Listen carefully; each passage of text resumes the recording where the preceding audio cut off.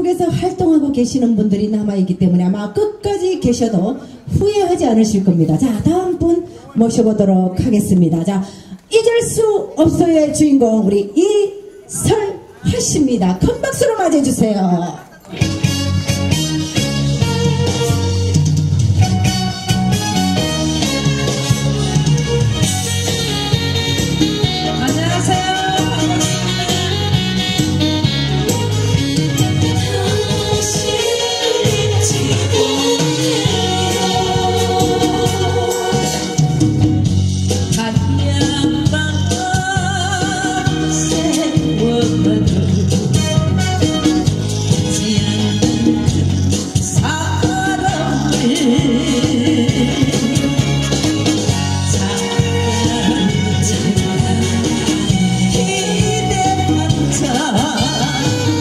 her.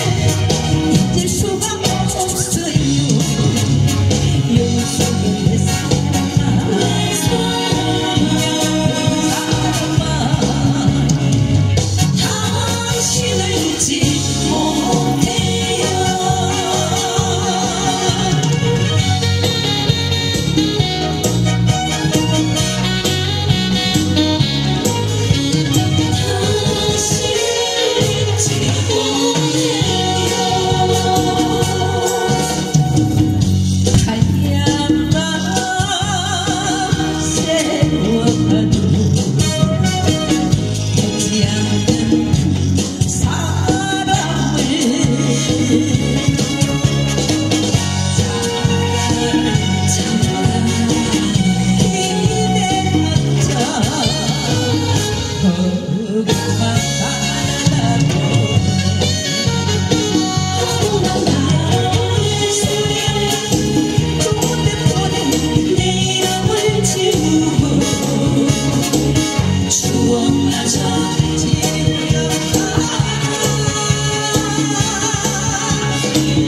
습